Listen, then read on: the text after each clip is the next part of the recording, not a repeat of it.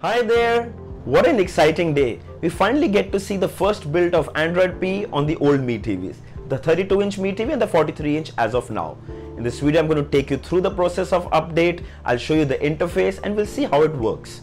Now just to inform you, this is a first build, which means only limited people have access to it and it's going to have lots of bugs. So right now, this is not a stable update, so things are going to work, things are going to not work. I will take you through the process of the update, show you how the interface looks and everything. So continue watching this video. This is your friend Tech Singh. Let's get started.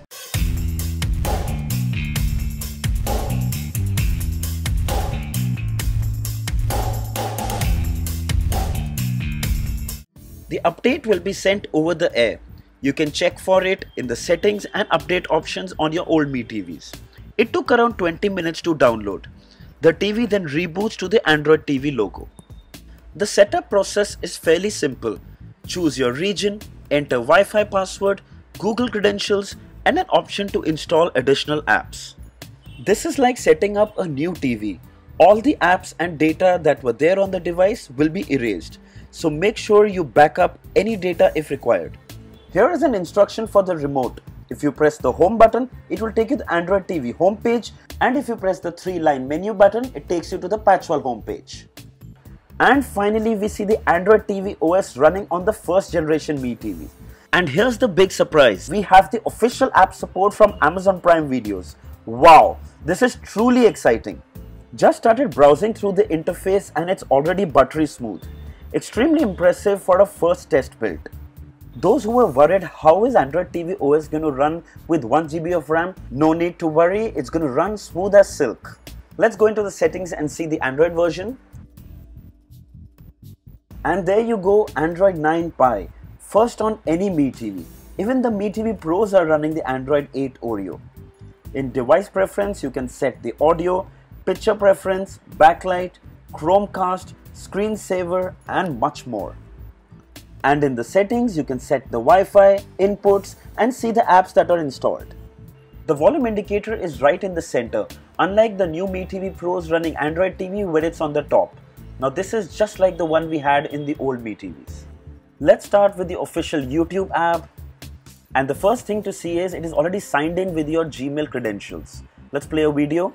Hi there, it's raining smart There you go, plays perfectly fine, doesn't lag or hang.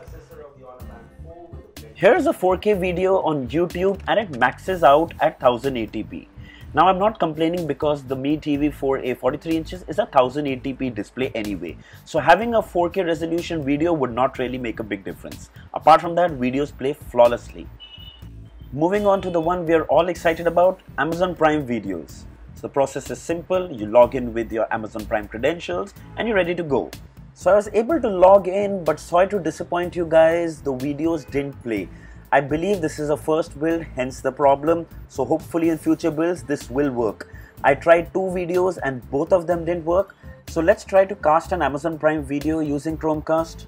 So guys, here's a great news. Now you can use your Chromecast on your old Mi TVs with this update. Yes, Amazon Prime app now supports Chromecast. You're using it from your Android phone or iPhone. It will just work.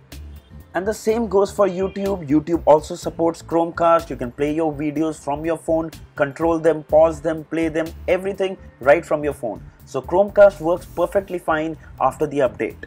Opening the app launcher and you can see all the installed apps, YouTube, Play Movies, and finally you have the Google Play Store. Yes, the official Google Play Store is now available.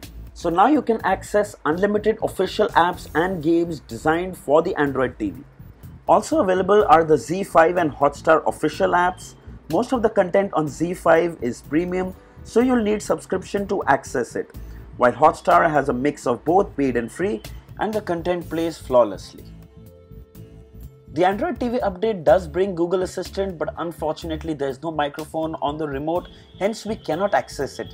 The other way to access it that we can go on the right, you can type here and search, but since there's no microphone, you cannot use the voice assistant. Even tested the Android TV app remote, but unfortunately even that didn't work. So hopefully if this is fixed, I think we should be able to access voice search using the Android TV remote app. And finally, Patchwall. Well, it's now Patchwall 2.0 with a white improved interface.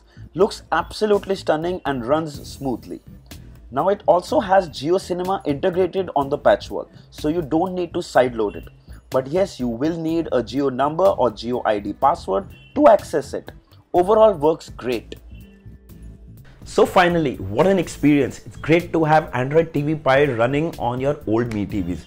Though it's an early build, it's actually still quite smooth and quite stable.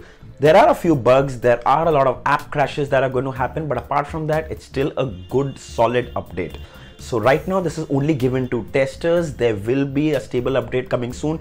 As of now, everything works. Chromecast works. Android TV OS is smooth, quite buttery smooth, smoother than I actually expected it to be. You can access all the apps on the Play Store that are officially available, Google Apps, YouTube, everything works. The only thing right now is that the pre-installed amazon prime app doesn't work. So for that you can still use chromecast and cast your amazon prime videos from your phone directly to the mi tv using the chromecast feature which works flawlessly. So some of you might ask what is the point of having the app if you already have chromecast support? Well it's like saying what is the point of having a youtube app if you have chromecast? So always having the youtube app is far easier more interactive fun to use. So I would say having the app is always a plus. As of now, I'm thankful to Xiaomi for fulfilling their promise. We all were waiting for this for a long time. Right now, I can promise that this is going to come to all of you very soon. Only the 55 inch previous Mi TVs right now we don't have any date or any information, but the 32 inch and 43 inch Mi TV owners can rejoice because the update is just around the corner. So I hope this video was helpful. Write down in the comments and give me your feedback about this video. Also, if there are any questions, do put them down in the comments. Don't forget to like this video, share this video and subscribe to my channel for many more videos like these. Until next time, cheers.